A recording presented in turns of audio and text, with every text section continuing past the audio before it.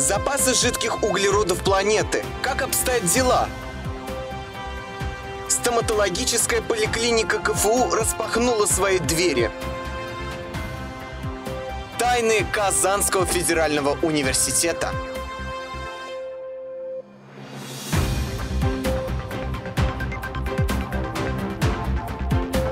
Всем привет! В эфире Univernews, а в студии Максим Мартынов.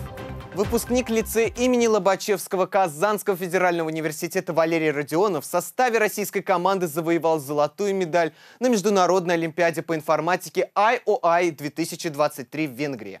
Олимпиада проходила с 28 августа по 4 сентября.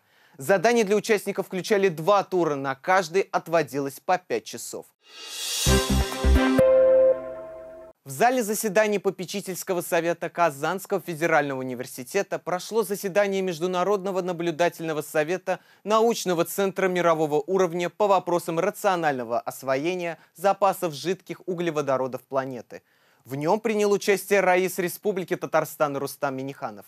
Какие доклады были представлены, расскажем далее. Открыл заседание председатель Международного наблюдательного совета РАИС Республики Татарстан Рустам Миниханов. Ключевой целью встречи стало проведение анализа эффективности деятельности центра, созданного еще в 2020 году. Речь идет о научном центре мирового уровня, основные цели которого связаны с решением проблем прироста запасов доступной, легко добываемой нефти с меньшими экологическими проблемами, в том числе на новых территориях. На повестку дня были вынесены промежуточные результаты работы за 2023 2023 год и оценка перспективы практического применения полученных научно-технических заделов. По словам Раисы Республики, результаты работы Центра должны прежде всего найти свое применение в Татарстане на объектах публичного акционерного общества «Татнефть» и в малых нефтяных компаниях. Кроме того, Рустам Миниханов отметил успехи Казанского федерального университета, в том числе новые проекты Института геологии и нефтегазовых технологий.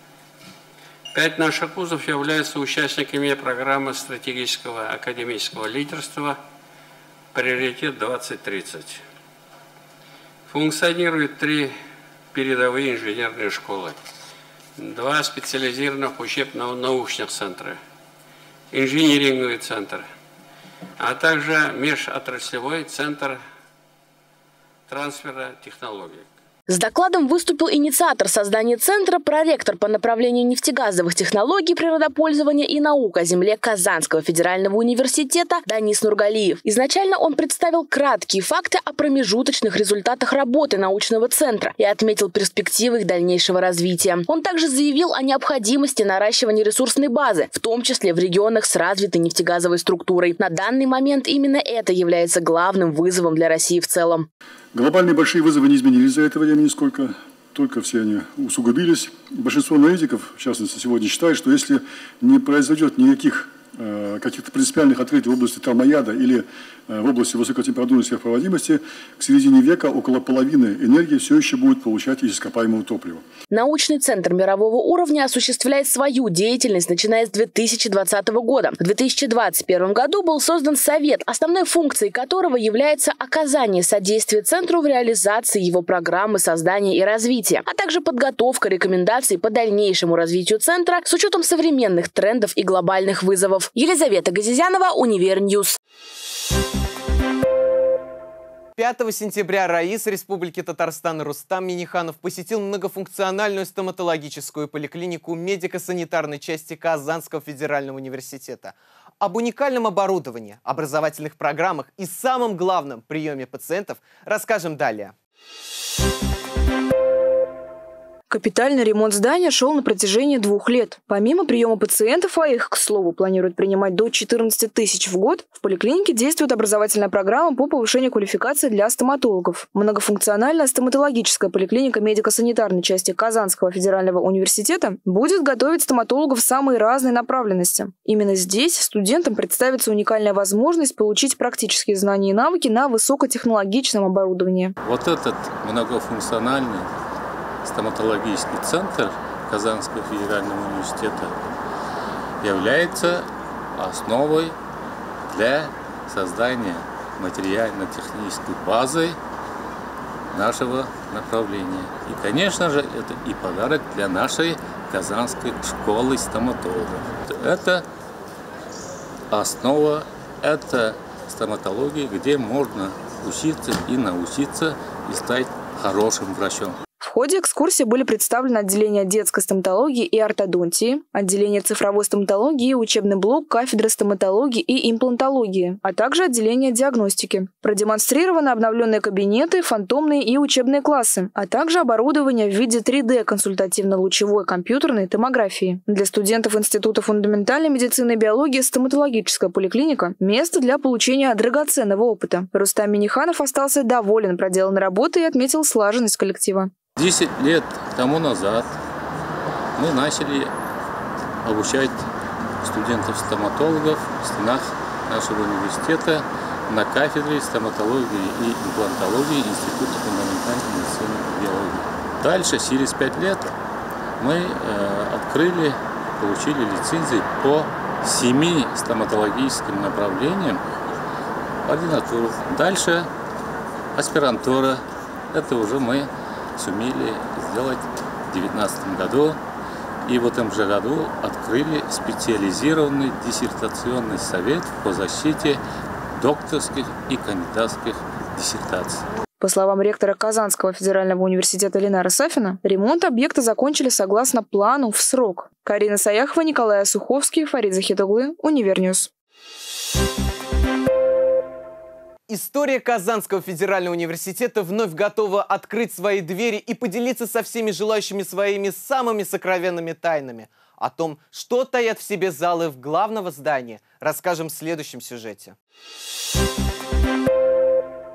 Казанский федеральный университет – одно из старейших и самых престижных учебных заведений России, основанное в 1804 году по указу императора Александра I. Стены каждого здания хранят в себе многовековую историю и из года в год стараются поделиться ею со всеми, кто хочет своими руками прикоснуться к прекрасному. А вот звание самого богатого истории корпуса по праву получает главное здание Казанского федерального университета. Императорский, белый, голубой залы и множество других помещений наполнены духом того времени, и даже после реставрации локации могут похвастаться эстетикой давних времен. К примеру, зал основной экспозиции Музея истории Казанского университета раньше представлял собой церковь. Она была реконструирована в 1820 году. Прототипом ее стала домовая церковь князя Голицына. В 1825 году она стала полностью функциональна и просуществовала аж до 1923 года. Впоследствии это помещение превратилось в спортивный зал. Здесь проходили, естественно, университетские богослужения. Здесь э, крестили, венчались, венчались причем профессора, студентов здесь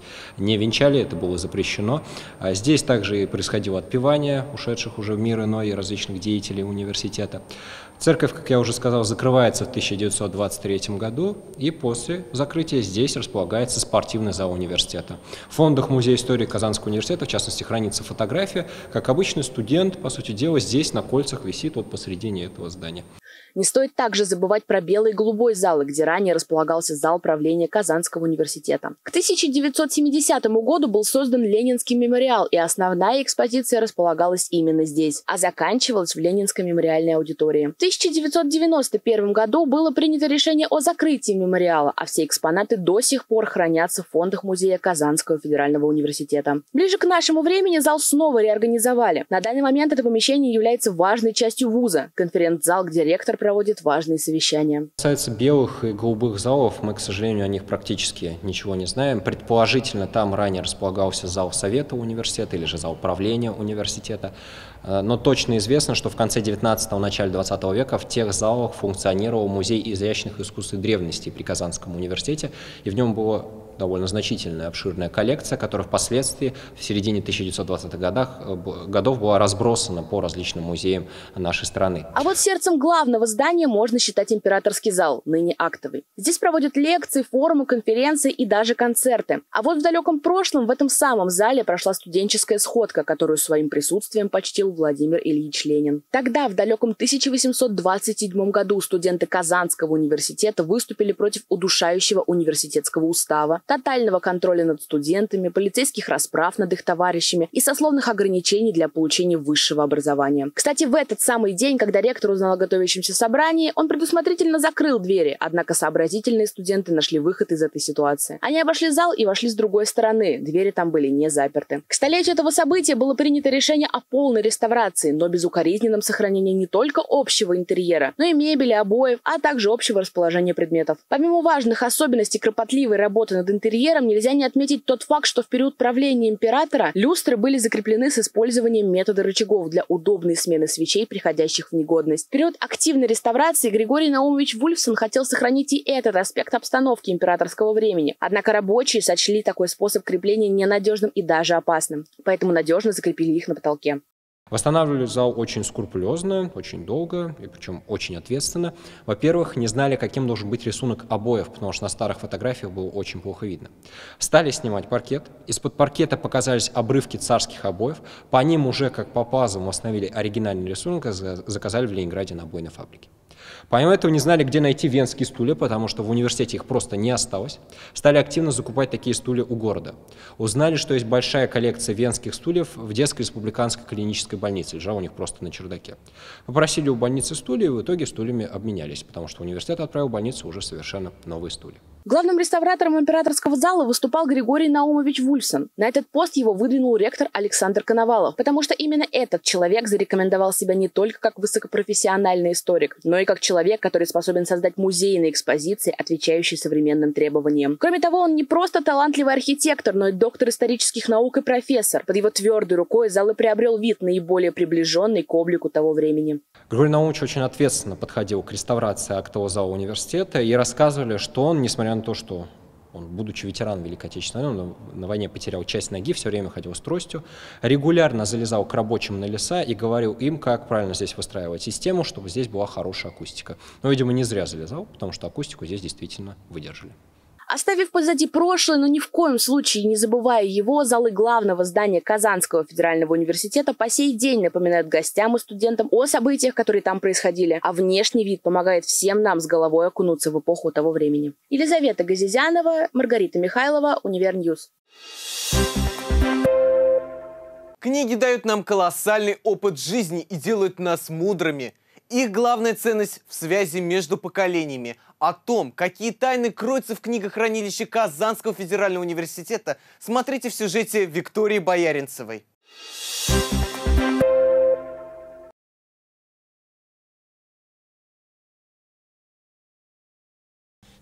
Книгохранилище – одно из самых загадочных и таинственных мест Казанского федерального университета, о котором знают только его сотрудники. Сегодня мы попали в основное книгохранилище университета, дорожащего в своих стенах огромный массив уникальной литературы.